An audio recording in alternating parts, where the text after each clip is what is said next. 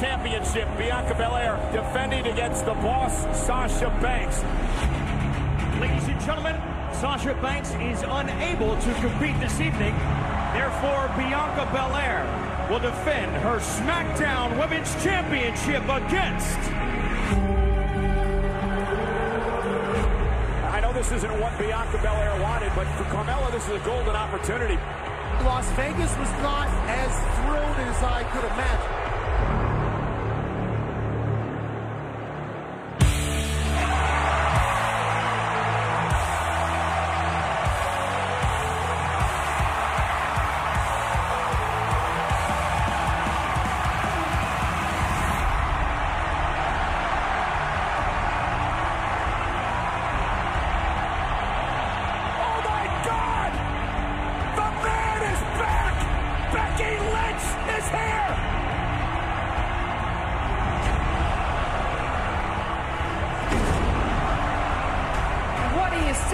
EST and the man blow the roof off this joint for the SmackDown Women's Championship.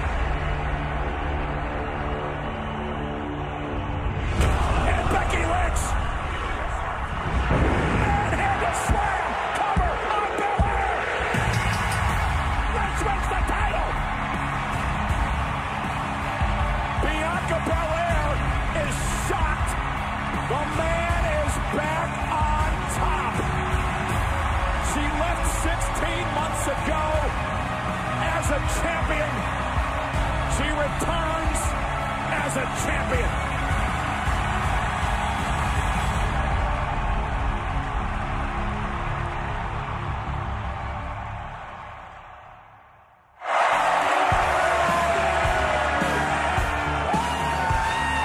After a record-setting SummerSlam that shook WWE to its core, we are live tonight at the Simmons Bank Arena in Little Rock, Arkansas. And tonight, Friday Night SmackDown on Fox is sponsored by Progressive, a triple threat of protection with foam, auto, and more. Hey again, everybody, ringside, I'm Michael Cole. Pat McAfee is home recovering from COVID-19. I spoke to him a few moments ago. He is feeling much better tonight. But joining me on the broadcast, my old colleague from Monday Night Raw, Corey Graves, and WWE superstar Kevin Owens. Does, uh, does Graves have a better chair than I have? Yes, absolutely. That's I'll- unacceptable. I'm SmackDown. You are I not- should have the nice chair. I am here to put the W back in SmackDown. I have a tie on.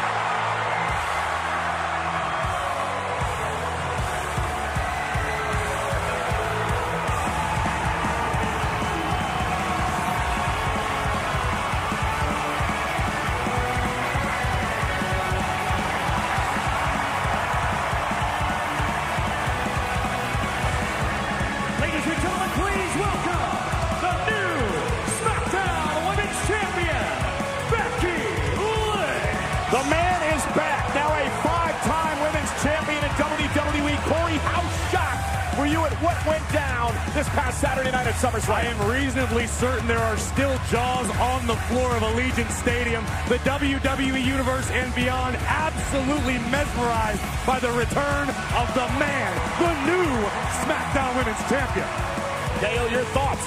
Yeah, well, one of those jaws that might still be on the ground could be Bianca Belair's because here's what happened. Becky Lynch punched her in the face, pinned her, stunned her right from the get-go. All it takes is three seconds. Kevin, you know as well as anyone, to be a champion here in WWE, you always have to keep your eye on the prize. Do you think this is a case of Bianca not being prepared? How could she have been prepared for this? No way. Bianca was prepared for Sasha Banks, then Carmella, and then Becky Lynch. And let's face it, this is Becky Lynch, so even if she had been well prepared, this is the man we're talking about here, you know?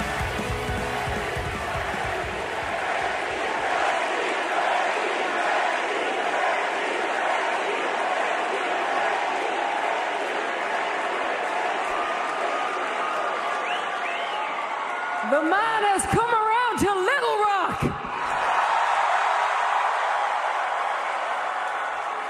Oh, it feels good to be back. But not just back. We back on top, baby!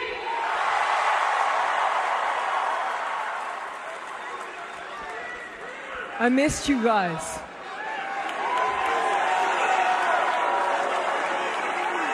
Well, let me tell you, When I had to give up my Raw Women's Championship a year and a half ago, that was one of the hardest things that I've ever had to do.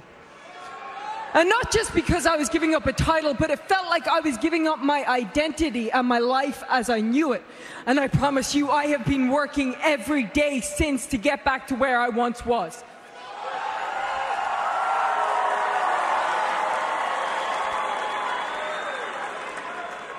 I do have a new life and I do have a new set of priorities. And if you think that I was dangerous before when I was just fighting for myself, you have no idea about how deadly I'm about to be.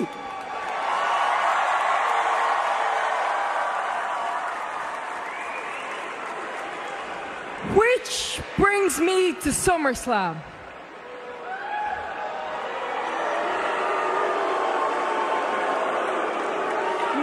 I, I, hear you. I hear you. There has been a lot of controversy about my return, a lot of people talking about my actions and saying that I was underhanded.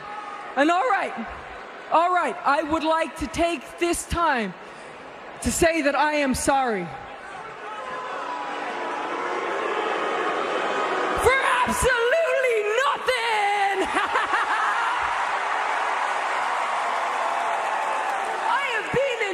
WWE for long enough to know that everything is about timing. And you can call it a lucky break, but really all it is is when opportunity meets preparation, and all I needed was an opportunity because if you think I wasn't preparing for this every second of every day, then you haven't been paying attention to my career.